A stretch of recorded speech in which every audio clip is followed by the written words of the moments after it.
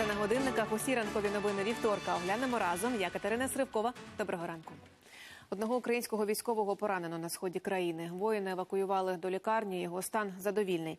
Минулої доби бойовики дев'ять разів порушували режим тиші. Поблизу водяного та гнутового ворог гатив із мінометів. А на підступах до Світлодарська бойовики вели вогонь із великокаліберних кулеметів та гранатометів. Сьогодні на передовій вже зафіксували три ворожих обстріли, зокрема із заборонених мінометів 120-го калібру. Наш Руслан Сміщук поспілкувався з українськими оборонцями на передовій. Його репортаж далі. Залишки ворожої керованої протитанкової ракети, так званого ПТУРА, розбита автоматна обойма, засохла кров на землі. Саме в цьому місті днями загинув український військовий. Це дуже далеко від е, переднього краю, але навпаки близько до кладовища. Пуск ПТРК саме по особовому складу це ну просто вбивство. Саме для того, щоб вбити людину. На жаль, той час, в той день ворог досягнув успіху. Це позиції під Горлівкою в районі хутора Шуми. Ракету пустили з одного із ворожих териконів. Останніми днями бойовики неодноразово використовували тут керовані комплекси. Останнім часом вони е, почали бити птурами. От на днях у нас був 200 що вони птуром е, його вбили. Е, бачите, то є, незважаючи на те, що не така не дуже дешева, як то кажуть, е, не дешеве вид озброєння, але все одно вони його використовують. Інша ворожа зброя також не мовчить. Прилітає тут щоденно, розповідають українські солдати. І працювали снайпера. Е, Противник застосовує заборонені міномети 82 і 120 калібру. Працюють АГС, РПГ, ну і деколи стрілкатня. Але попри такі умови з бойовим духом тут все гаразд.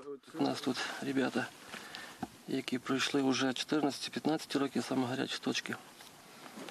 От, і в будь-який час ми готові зустріти того противника, який захоче піти на нас. Russian Federation коротше, натягнули сюди війська. Тобто е, ми володіємо достатньою інформацією. Е, що перед нами стоїть, це і важка броня, коротше, легко, легка броня у них.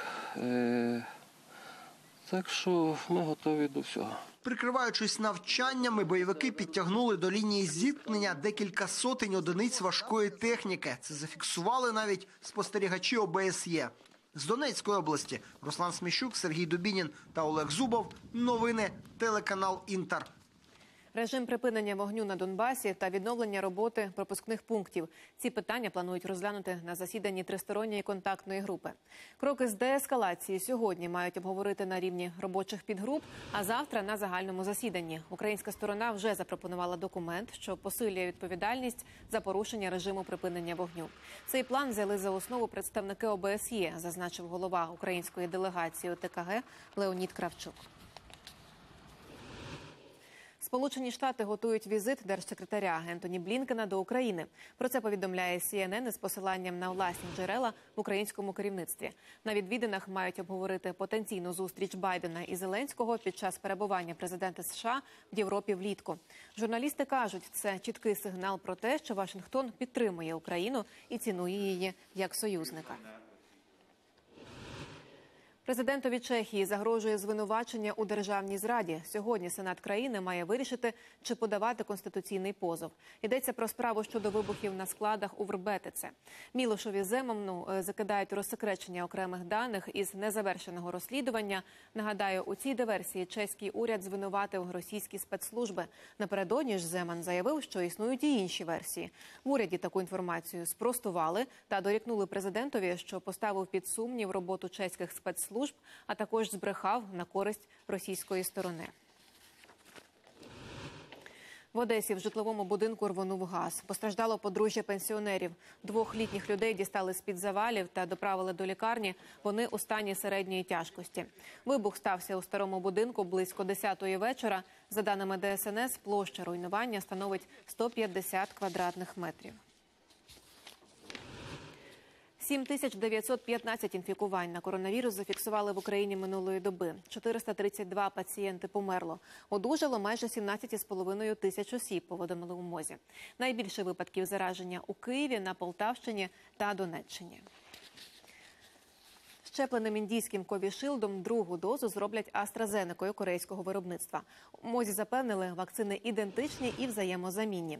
Що ж до ризиків, кажуть, вони незначні. Випадків тромбозу лише 5 на мільйон. Нагадаю, минулого тижня Україна отримала понад 350 тисяч доз вакцини AstraZeneca корейського виробництва. Препарат схвалила Всесвітня організація охорони здоров'я.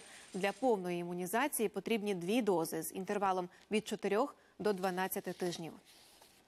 Цієї вакцина е, не просто ідентична, а вона є взаємозамінна, бо вона по своїй технології виготовлена так само.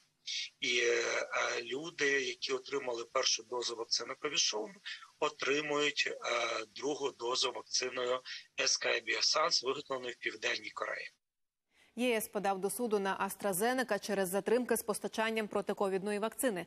Єврокомісію обурило, що у січні компанія заявила, не зможе надати узгодженої контрактом кількості препарату. І до кінця першого кварталу доправила європейським країнам лише 30 мільйонів доз. Це утричі менше обіцяного. За прогнозами будуть провалені поставки і у другому кварталі. Національне агентство з санітарного нагляду Бразилії не дозволило імпорт і використання в країні російської вакцини від коронавірусу Спутнік Ві. На думку фахівців, російський препарат має надто великі ризики для здоров'я людини. Найбільшою проблемою є наявність у вакцині аденовірусу, який може розмножуватися. Це серйозний недолік, запевняє керівник бразильського регулятора здоров'я Густаво Мендес. Німеччина з червня скасовує пріоритетність у ковід-вакцинації. Про це повідомила канцлерка Ангела Меркель. За її словами, країна наростила достатній темп імунізації. За останні три тижні встигли щепити 10% населення. Це стільки ж людей, як за перший квартал. За даними канцлерки, майже повністю вакциновані перша та друга пріоритетні групи населення. Для третьої відкрито реєстрацію. Нині на більшій частині території Німеччини почала діяти комендантська година. Навіщо її запровадили? Які штрафи загрожують порушникам? І чи звільнять від цього обмеження вакцинованих громадян? Тетяна Логунова розповість. Поодинокі перехожі, порожній громадський транспорт і припарковані автівки. Так у нічний час тепер виглядають Берлін, Мюнхен, Гамбург та інші великі міста Німеччини. У більшості регіонів країни діє комендантська година. Її автоматично запровадили усюди, де зафіксовано понад 100 нових випадків зараження коронавірусом на 100 тисяч населення. Це новий інструмент у нашій боротьбі з пандемією, і я переконана, що він необхідний. Наразі у нас вирує третя хвиля і домінує більш заразний варіант вірусу. Знаходитися на вулиці без поважної причини німцям заборонили з 10-ї вечора до 5-ї ранку. Виняток зробили для людей, які у пізній час повертаються додому з роботи або терміново мусять провідати хворого родича. А ще для тих, хто хоче вийти на пробіжку чи прогулянку перед сном. Втім, робити це дозволяється тільки поодинці. Порушникам загрожує штраф від 50 євро. Жодній країні ще не вдавалося подолати третю хвилю без суворих карантинних заходів, до яких належить і комендантська година. Єдиний загальнонаціональний механізм аварійного гальмування епідемії це той інструмент, який допоможе нам зупинити темпи поширення коронавірусу і врятувати систему охорони здоров'я від перевантаження. З канцлеркою не згодні вчені. Вони проаналізували, як різні карантинні заходи впливали на статистику захворюваності. Найбільш ефективним інструментом виявилося аж ніяк не комендантська година, а закриття шкіл і дитсадків. Наше дослідження показало, що ефект нічної комендантської години по суті нульовий. Ми порівняли статистику захворювання в регіонах, де на початку року вже запроваджували це обмеження, і де ні. Нам не вдалося зафіксувати жодного статистичного значущого ефекту. Запровадження нічної комендантської години намагаються оскаржити і в конституційному суді. Цей орган вже отримав кілька десятків скарг від політичних партій і простих громадян.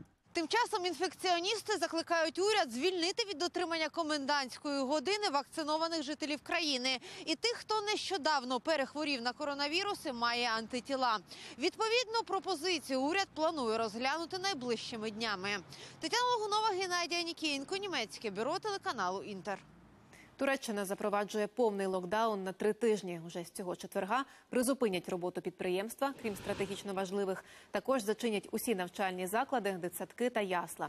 Для поїздок країною потрібно буде отримати дозвіл. Міжміський громадський транспорт працюватиме заповненим наполовину. За минулу добу у Туреччині зафіксували понад 37 тисяч випадків інфікування коронавірусом. Столиці Естонії та Фінляндії може з'єднати новий підводний тунель. Відповідну угоду підписали уряди країн. Міста з'єднають залізничним тунелем, що проходитиме під фінською затокою. Проєкт передбачає будівництво магістралі завдовжки до 70 кілометрів на глибині майже 200 метрів. Сподіваються, що подорож від Гельсінкі до Таліна триватиме до півгодини. Потяги під водою рухатимуться зі швидкістю до 200 кілометрів на годину. Реалізація такого проєкту займе від 10 до 15 років. 30 змій під одним дахом. Житель Нікарагуа облаштував у своєму помешканні справжній серпентарій. Свою пристрасть до рептилій перетворив на бізнес. От тільки сусіди поглядають скоса. Чому розповість Ольга Жидецька? 26-річний ветеринар Альберто Дельгаділо охоче розповідає про своє захоплення. У його руках невеликий удав. Він слухняно обвивається довкола рук господаря та дає себе пестити. Щоб з твариною можна було так поводитися, вона має народитися в неволі під наглядом людей. Ці змії від народження звикли до такого поводження, до їжі, яку я їм даю. Тому вони більше не ідентифікують нас як загрозу. Таких земнокровних улюбленців у помешканні Альберто зо три десятки. Каже, рептилії зачаровували його від самого дитинства і за першої нагоди завів собі лускатого плеканця. Потім ще і ще. Нині окраса колекції двометровий пітон альбінос. Є й отруйні змії, гримучі, гадюки та інші страхітливі екзоти. А дехто задовольняється заскленими полицями шафи. Чоловік каже, родина змирилася з його пристрастю, а от сусіди поглядають скоса, адже змій у Нікарагуа недолюблюють.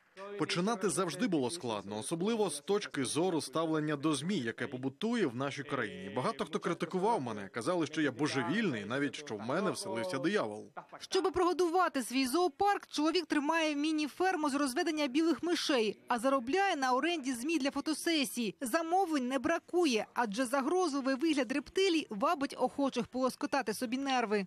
Я одразу сказав, це буде видовищно, неймовірно. Це унікальний досвід. Таку екзотику не щодня побачиш. Яскраві враження клієнтів дуже тішать господаря рептилій. А на закиди зоозахисників, що звинувачують його в експлуатації тварин, відповідає: усі його плеканці здорові і задоволені, бо оточені любов'ю і турботою. Ольга Жидецька, новини телеканал Інтер. На Черкащині рятують найвеличнішу пам'ятку природи України дуб Максима Залізняка. Дерево свого часу назвали на честь провідника та головного отамана Коліївщини. Тисячолітній 30-метровий велетень росте на хуторі Буда на Чигиринщині. Щоб продовжити дерево життя, тричі на рік сюди приїздять науковці. Ось так арборист Петро Гордієнко готує альпіністське обладнання для підйому. Дуб Максима Залізняка одне з найстаріших дерев в Україні, тому за ним кожного року доглядають і підтримують його життя. У перший захід Петро має виявити сухе гілля і обережно його зрізати. Дивіться, отсюди вас можна определити, які ми гілки будемо обрізати, які ні. Чому? По тій причині, що він ще ж не розпустився, і отсюди взагалі не видно, чи вона суха, чи вона шива. Коли заліземо, подивимося. Заввишки стародавній дуб 30 метрів і 9 в обсязі. Догляд за деревом кропітка робота. Поки Петро обрізає гілля, працівники заповідника Чигирин чаклують над ліками від шкідників.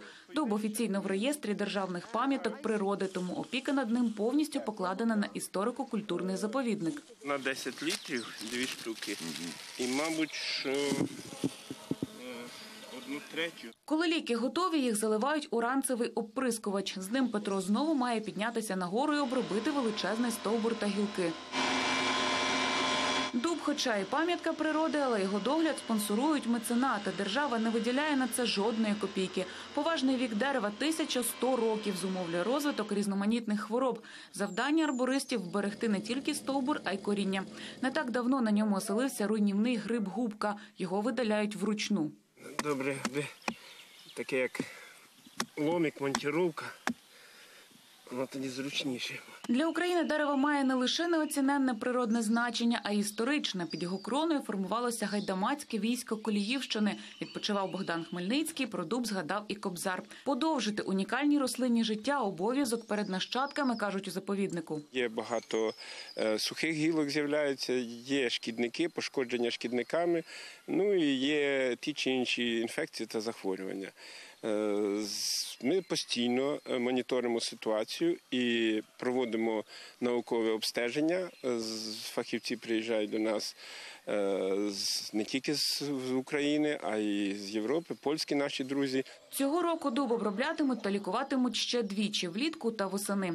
У липні вчені вручну переселятимуть з дерева жука вусача. Знищувати його не можна, адже комаха, теж як і дуб, охороняється законом.